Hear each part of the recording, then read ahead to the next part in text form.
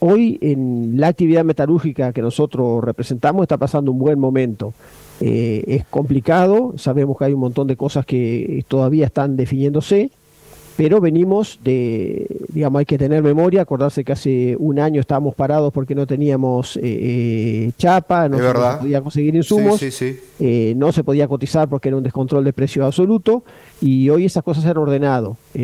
nosotros este, para darles una idea, llegamos a pagar la, el kilo de, chapa 4 dólares el kilo, hoy lo estamos pagando 1,45, o sea que se normalizó y estamos en valores eh, históricos. Y aún con la actualización de sueldo de este año de la UOM, que fue más del 50%, estamos prácticamente hace cuatro meses con los mismos costos de, producto mm, final tenemos estabilidad de precios, se podemos cotizar con cierta eh, seguridad, se firmó una paritaria por cuatro meses, que hace un año teníamos que estar retocando todos los meses los valores, entonces era muy difícil poder, eh, poder cotizar. Y los datos que tengo, eh, al menos del, grueso de los colegas que están participando en la asociación, es que estamos todos con, buen trabajo. no sé si hemos aumentado la mano de obra demasiado, pero nadie se desprendió de, ningún operario. no tengo datos de ninguna empresa que haya despedido gente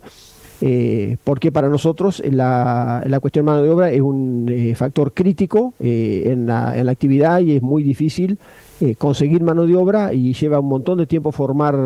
operarios, por lo cuales la generación de mano de obra creo que es lo más importante que se está sosteniendo y tenemos perspectiva de crecimiento sin, sin duda. ¿no? ¿Cuáles son por allí demandas que tienen que ver con el eh, crecimiento o potenciar, mejor dicho, el, eh, rendimiento del sector en estos tiempos. Este, ¿Hay alguna cuestión o algún objetivo o algún anhelo que tenga que ver con esta situación para engrandecer un poquito más la marcha de lo que estabas marcando al principio?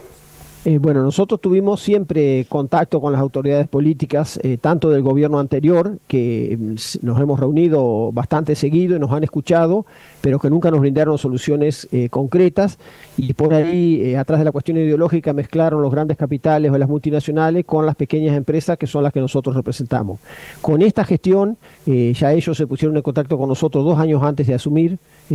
o sea, el, grupo de economistas de, de Frigerio,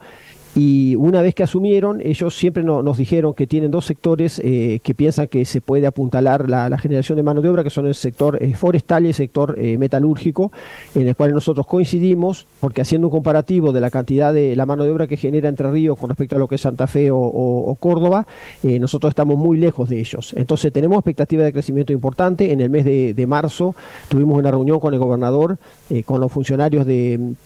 eh, de la, parte de producción y de, y de economía. Eh, y la verdad que estamos trabajando bien, nos, nos han escuchado y, necesitamos, por supuesto, eh, las cosas que nosotros le planteamos son básicamente las que les pasa a todo el mundo. ¿no, no tenemos energía en los parques industriales, no tenemos caminos, no hay banquina, no tenemos conectividad en, la mayor parte de la, de la provincia.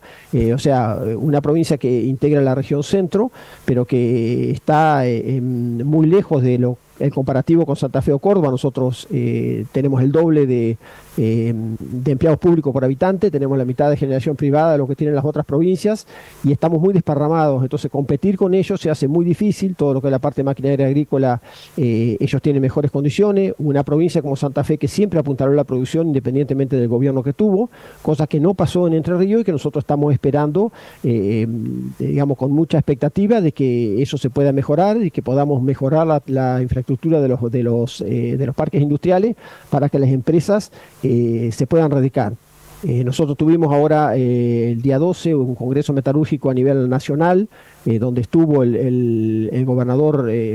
presente y donde desafió a que mejoraba cualquier oferta para empresas que se quisieran radicar en Entre Ríos. Y eso es lo que, lo que estamos esperando. pero necesitamos una infraestructura básica que hoy está muy lejos de ser la que nosotros necesitamos.